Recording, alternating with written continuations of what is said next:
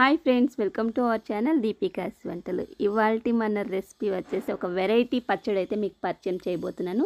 దీనికి కావాల్సిన పదార్థాలు తయారీ విధానం ఇప్పుడు చూసేద్దాం. రండి.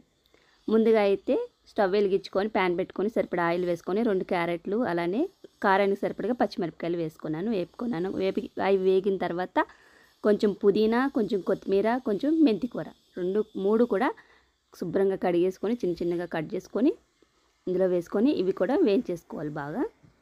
తర్వాత ఇక్కడ మామిడికాయ ముక్కలు. లాస్ట్ ఇయర్ అయితే నేను ఉప్పులో వేసి ఊరబెట్టుకున్నాను అనమాట ఆ మామిడికాయ ముక్కలు ఉంటే ఇవి కూడా వేసేస్తున్నాను పచ్చళ్ళలో.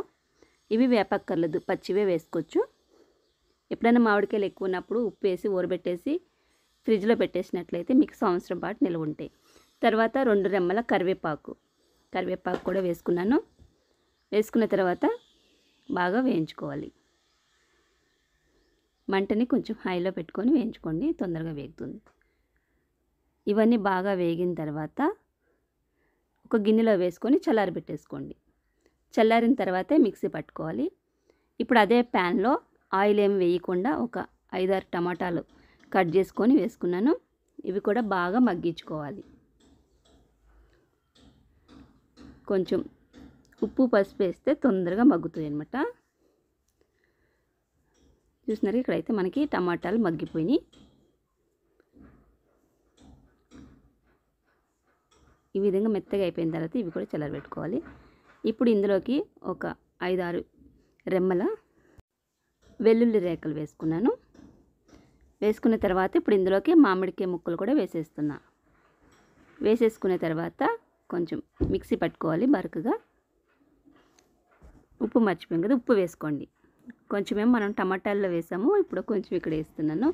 తర్వాత ఇలా మిక్సీ పట్టుకున్న తర్వాత చూస్తున్నారు ఇక్కడ బరకగా అయితే అయ్యింది. ఇక్కడైతే ఇంకా నీళ్ళు అయితే వేయలేదు నేను ఎక్కడ.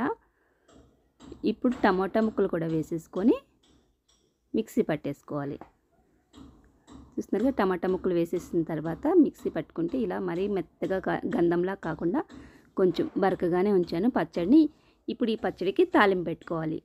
కరివేపాకు ఎండుమిరకాయ ఆవాలు జీలకర్ర వేసుకుంటే మినప్పప్పు శనగపప్పు అన్నీ వేసుకొని ఇలా పోపు పెట్టేసుకోండి. ఈ పచ్చడి చాలా బాగుంటుంది. ఇడ్లీలోకి దోశల్లోకి అన్నంలోకి చపాతీలోకి దేంట్లో అయినా చాలా బాగుంటుంది.